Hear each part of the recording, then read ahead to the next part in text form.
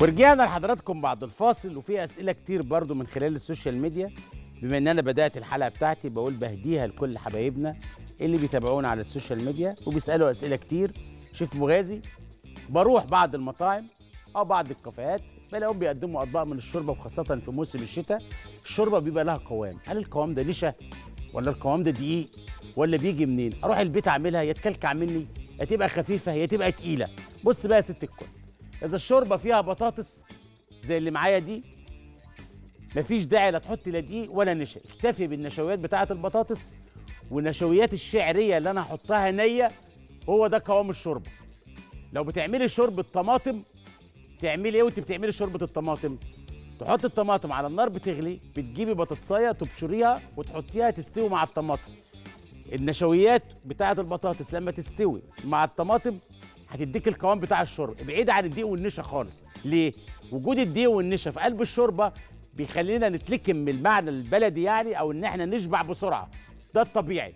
فخلي الشوربة بطبيعتها بمكوناتها. هتديك الطعم تديك القوام الطبيعي. حلو الكلام بس جواب وجاوبت على السؤال عشان حضراتكم تبقوا مقتنعين باللي أنا بقوله. معايا الكرفس ملك الشوربة موجود معانا. ده بضيفه في الآخر خالص للشوربة بتاعتي بعد ما تغلي وأحط الشعرية. وده معانا. وإحنا شغالين كده بن... يا نعم يا غالي.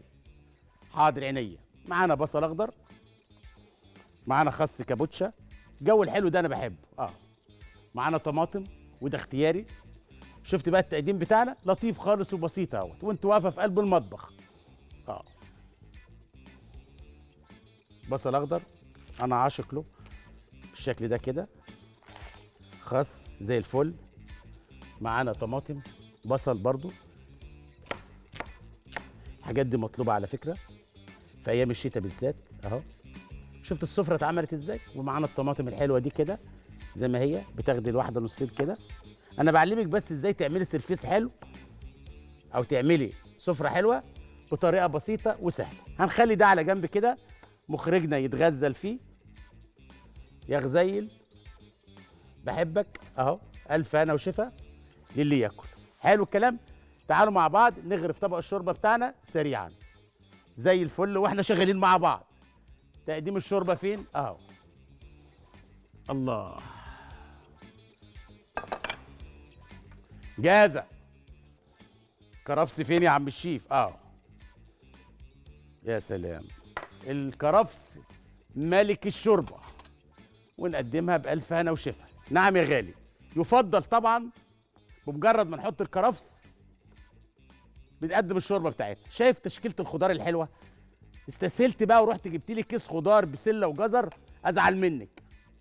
تعالي على نفسك هات حبيتين كوسة حبيتين جزر حبيتين بطاطس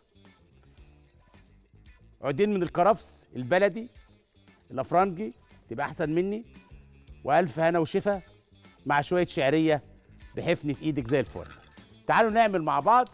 الموز المقلي سريعا الزيت بيسخن معايا هاخد بعد كده واخد الخلطة الحلوة اللي أنا تعبت عليها